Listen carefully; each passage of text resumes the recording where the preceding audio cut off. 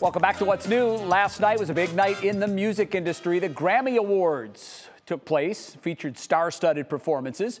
For some of the biggest highlights, here's Kierra Cotton now with your Monday Pop Break.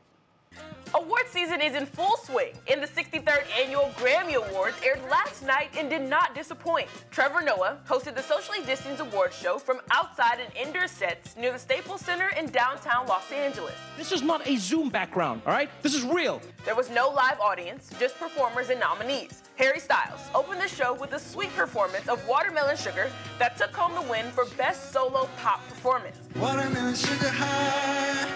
Lizzo, in all her glory, let one slip, cursing live on air while announcing the winner for Best New Artist. The winner, Megan Thee Stallion, took home three Grammys last night and shared an epic moment with Beyonce as they accepted the award for Best Rap Song. The Queen Bee herself also made history, becoming the most decorated solo artist in Grammy history. With 28 awards, she gave a heartfelt speech honoring her husband and three children. Y'all are my babies, and I'm so proud of y'all.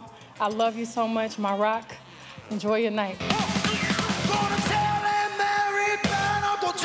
Bruno Mars paid homage to Little Richard, while Lionel Richie honored Ken Rogers.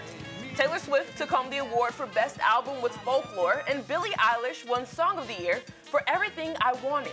The only major hiccup of the night appeared to be the exclusion of Naya Rivera during the annual tribute to the musicians and music industry members we've lost. All in all, the award show was a success. Here's to next year. And of course, we need to address Jennifer Lopez and Alex Rodriguez. According to new reports, the two are still together after a report of a split last week. And apparently, they want us to mind our own business. But what's the fun in that? I'll keep you updated with the latest information as I find out. Back to you guys.